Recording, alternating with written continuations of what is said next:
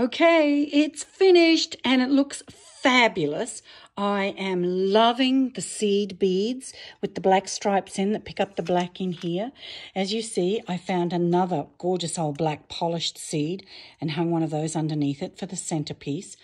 It's lightweight, it's fabulous. And I want to let you know that this mannequin is real size. It's not one of these tiny, skinny little things. So that's why I put it on there because I am not dressed to be on camera.